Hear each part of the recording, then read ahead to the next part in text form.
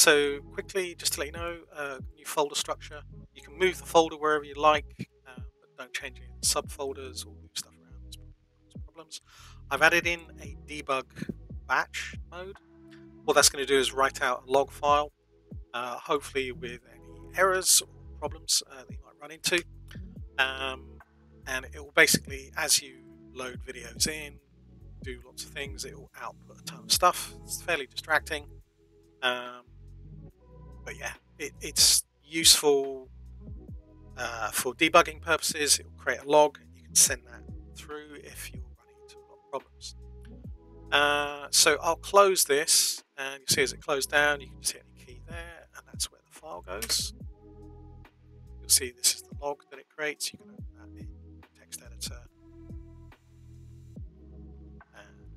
Yeah, there's a ton of boring stuff in there, um, but hopefully useful if we normal running the file, you just run uh, exe, and I'll quickly take you through uh, the features and new stuff that's been added in. Takes a few seconds to start, shouldn't take too long. Shout if it's taking forever. Um, so it's drag and drop uh, as usual. So you can drag photos on um, and step through them. Um, straight frames as well. And uh, you can drag on videos. So just drag them to the top. Now, when you drag a video that hasn't been extracted anything like that, because obviously the stills kind of have, they don't have a video to be extracted from, um, you have to extract it. There's two modes to do this. Uh, there's a time mode and a frames mode. So basically, this is very simple in that you extract one frame every 24 frames. This can be useful for high frame rate, uh, slow mo footage, drones, that time is basically extract a frame every uh, nth second. So this is setting it to half a second. Change that to one. You'll notice my total frames. So every one second, I'm 97.2 second clip. So that's only going to give me 97 frames. I can lower this, so I can put 20 in here, but I can't put 100. It just won't let me do it. So I've limited that so you can't create you know, sort of errors by trying to extract like that. Uh, so say we just extract 20 frames. Just run the extract button here.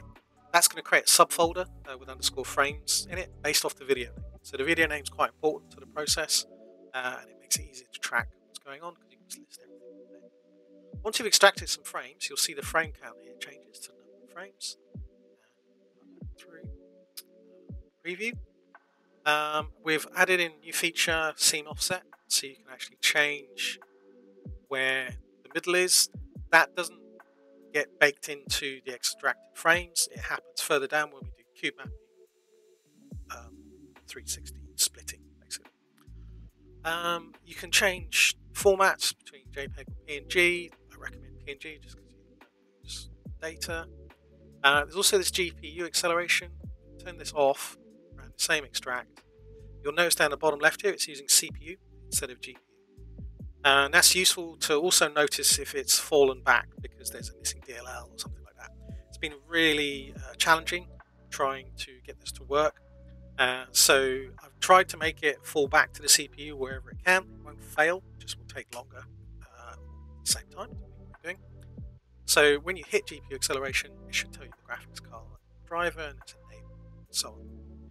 That fails, kind of is what it is. So what I'm going to do is I've got these frames here, uh, which is quite useful for showing the segmentation.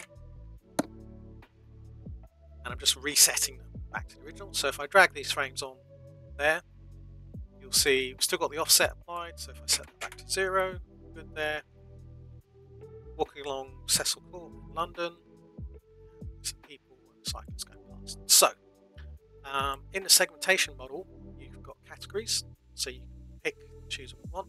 In this case, I'm just going to turn off bicycle and I'm just going to leave it on people. Um, and then you've got the model type, um, which is basically time over precision. So the lower, the more precise it is, the longer it's going to take. Confidence, which is basically how confident uh, is the value that it's a person, or whatever the category is it's trying to select. And then mask size is kind of like mask dilate, which will expand the mask or shrink it depending on the value in here. Uh, that's useful when it doesn't get certain edges like feet, shoes, or bits of hat, stuff like that. And then we've got detection between standard, enhanced, and ultra. And it's it basically, again, it, it's using multiple passes uh, the higher you go. Uh, so if we leave it on enhanced, and basically you run this. Now this will warn you uh, if you're using images only because you don't have a way to extract back over. But um, when you rerun it, it's looking at the RGB. So you don't have to re-extract every time. This is just a warning that it's going to modify these files, basically. Um, now, you'll see a little initializing GPU message down the bottom. It's going to have a think about it, uh, and then it should get going. so you'll see it now says GPU masking as well. If it falls back, it'll just say CPU, run through the same things. Got an estimate down here of how long I think it's going to take. This is sort of based on the average five frames or something that it's processing because it jumped around a lot if I was doing on every frame.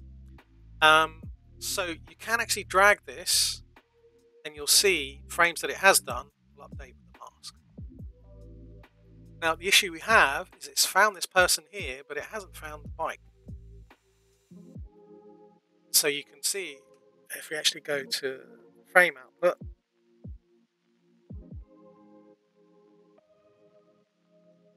not collected a bike. So then I realized I had lots of different categories and I could use those. So we go back to settings, turn on bicycle. Okay, that, so that's run through, took 55 seconds to do. Uh, again, that warning might become annoying, just put it in the comments if it's too much, but I wanted to make sure you were aware that you were overwriting the alphas of those files. So again, this will start spitting out, and if hopefully, uh, once it gets going, see it starting to overwrite the frames in here. And get to the bike. Yeah, you see the whole bike is now being masked out, which is quite useful.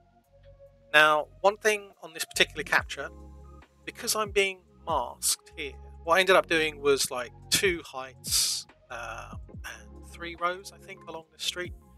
Um, but because I was walking straight down with the camera held out in front of me, keeping everything kind of parallel, you end up creating quite a large um, breakdown in the back here because of this mask. So in hindsight, as always, these things are good to test. Uh, I would sort of recommend doing zigzag patterns and swinging the camera left and right to get down this area because because I'm stood in front of it, walking back and forth, uh, I ended up not getting as much detail as I wanted back here. Buildings came out well, um, but yeah, it's it's just something to be aware of. You can see that mask updating as it loads it. Um, yeah, so once those masks are baked into the extracted images, um, you can then run them out as a split uh, or as a cube map. Just to show you the cube map, that's been updated to actually show you the, the sort of distortion. So this is the bottom of the cube, that's the top of the cube. Uh, so if I ran this now, You'll notice that splitting is using CPU because I basically found that the multiple cores of a CPU could be batched upon. And so it's actually way, way faster than just sending a single one to GPU. So we'll get the same thing, frame split, that name in there. And then there's the cube map. Now you can see that mask is carried on through. And you'll get the same alpha splitting. You can add in extra masks here by turning these on as well. But I thought this was a useful way of displaying it so you get a sense of what that looks like. And then also say I want to split him down to the middle. Just do that seam offset. Uh, and then split images again. And you'll see that shifted over now. So that can be kind of useful if you want to maintain as much of the image as possible. Uh, and then if I just did a standard split here, say I increase this to 50, the overlap, split all the images. That should, uh, yes, splits coming in. So again, that's maintaining those mask alphas throughout the pipeline.